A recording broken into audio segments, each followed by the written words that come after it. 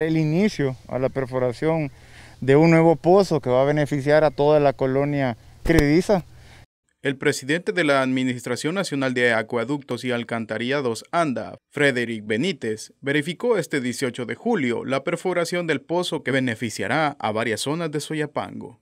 Además, inspeccionó que la empresa encargada de dicho trabajo cumpla con los plazos establecidos. Entonces ahora iniciamos la perforación de un nuevo pozo y ese pozo va a ser exclusivo únicamente para los habitantes de esta colonia, ¿verdad? Esperamos terminar este pozo eh, dentro de unos dos meses, estarlo finalizando.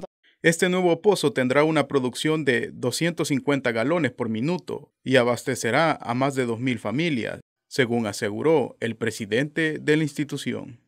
El, servicio de acá, de Ciudad Crediza, es un servicio malísimo, el que se ha dado no en esta gestión, sino que desde toda la vida.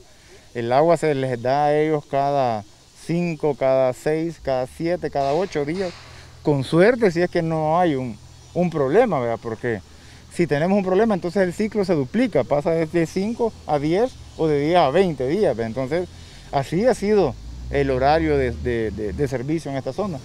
Benítez mencionó que hasta la fecha se han llevado a cabo 176 procesos de abastecimiento de agua potable, entre los cuales algunos todavía están en etapa de licitación.